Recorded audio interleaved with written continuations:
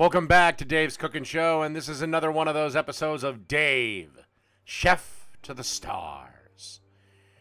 One day, working in my diner, Zooey Deschanel came in and asked me to make her the greatest pepperoni pizza melt she'd ever eaten. And I said, okay. And I had to start with the sauce.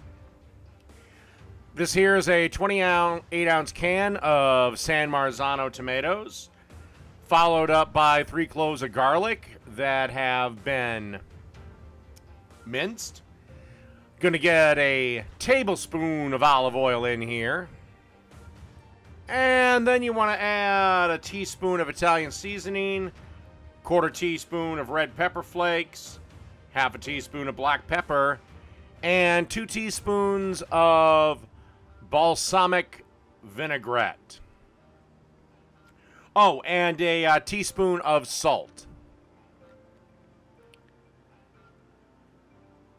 All right, then we'll just get ready to puree. All right, then you just want to blend this till everything is nice, smooth, and silky. Basically, it's completely blended together. Okay, next step. One quick note with pizza sauces.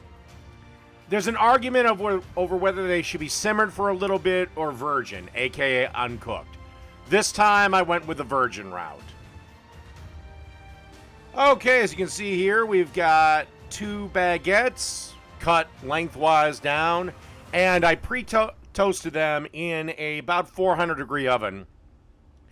Now you want to jack the oven up to about 500 degrees, and while it's heating up, well, it's time to add our toppings.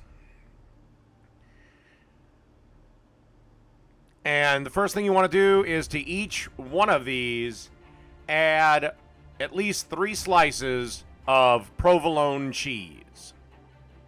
And then you want to add about six slices of pepperoni. This is the deli style pepperoni. It's a little bit larger.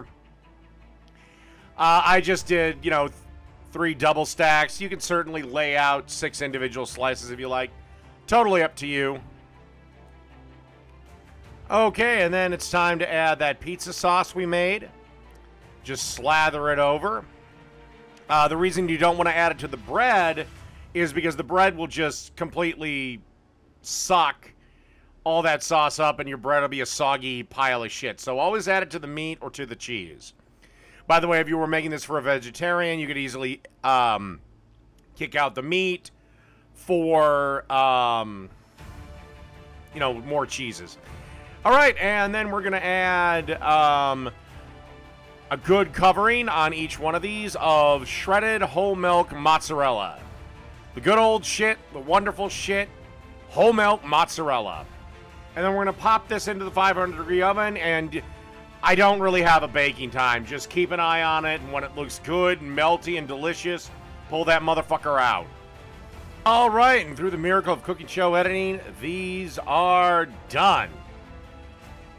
All right, burn the shit out of your hand and start assembling the sandwiches.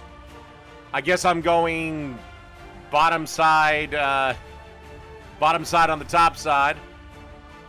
And then, uh, yeah, just let them cool down a little bit and uh, assemble these things. All right, we'll see them when they're on the plate. And that's it.